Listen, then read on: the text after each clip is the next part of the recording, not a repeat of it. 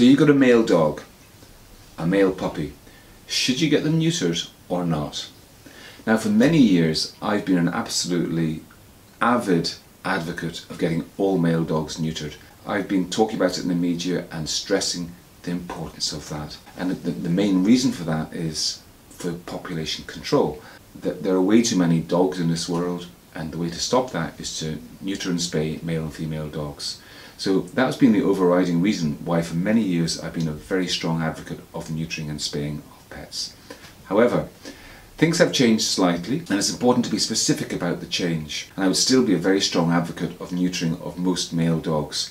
But I would be saying this nowadays, do it on an individual basis. Don't just say blanket, universal, every male dog should be neutered when they're six months of age. It's different now. You have to look to the individual. So why do you have to look to the individual? Well, let's look at the pros and cons of neutering a male dogs. The pros are these. First of all, your male dog won't be able to breed anymore, so he won't contribute to the massive number of unwanted puppies. That's number one. Number two, male dogs, they, they don't have the same sexual habits. And what that means is they don't do things like chasing after bitches in season. I know some male dogs who, if there's a bitch in season two miles away, they'll be gone. They'll find a way out of the home, they'll dig a hole under a gate, they'll, they'll spot a crack in the door when somebody's coming in and they'll bolt. So male dogs that aren't neutered tend to run away and get themselves into trouble and cause trouble for others. So that's the second reason. Okay. The third reason is male dogs tend to be more aggressive to other male dogs. So male dogs are more likely to get into fights and that can be troublesome for lots of people. The fourth reason is that male dogs tend to cock their leg everywhere. They mark their territory. The testosterone in their body drives them to mark their ter territory with urine. That means they lift their leg wherever they go. And I often see it here at the vet clinic. A little dog will come in, he'll cock his leg at the door, he'll walk into the consult table, he'll cock his leg in the consult table. They just keep doing it. Um, if they're neutered, that behaviour stops. Um, so that, that's a, a, great relief for many folk. And the fifth thing is that um, neutering protects male dogs from all sorts of medical conditions. Examples include uh, testicular tumours. Obviously, if the testicles are removed, they can't get tumours on them anymore inguinal hernias, these are little hernias that happen in the groin area, um, and perineal hernias, they happen under the tail. Prostate disease, um, inflamed prostate gland, um, prostatic abscesses. There's quite a long list of diseases that are prevented or minimised by neutering male dogs. Indeed, if dogs get these conditions, one of the main treatments is to castrate them. So that's the final group of reasons, if you like, why it's important to get male dogs neutered. But what about the negatives? What about the negatives? And, and that's what I need to talk about now because that, these are some new things. First thing is that male dogs who are neutered are more likely to put on weight. Now, it's not inevitable, and my own male dogs have always been neutered and they've always been very slim.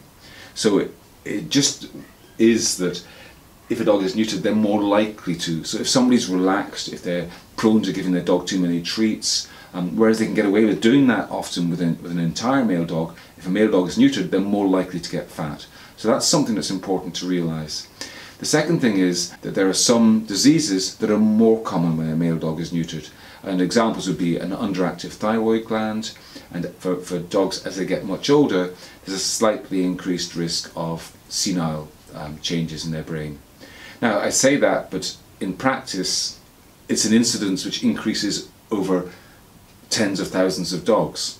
So it's not something that you see inevitably by any means, it's just something which they're aware of in big studies. Okay. The third thing is that there are some tumours which are actually more common in male dogs that are neutered. In particular, um, osteosarcomas of, of big dogs, like giant dogs. So if those dogs are, are neutered when they're young, the incidence of those types of cancers goes up. So for that reason, we're now starting to say that for large breed dogs, you should, um, if you're going to neuter them, you should wait till they're a year and a half of age. Overall though, what I'd say is this is something you should talk to your vet about because it should be done on an individual basis. There are some male dogs people bring to me. Uh, an example would be a little male terrier dog who's eight months old and he's cocking his leg on everything, he's humping people's legs, and they tell me that he's aggressive to dogs when they go out. For those dogs, definitely neutering is good.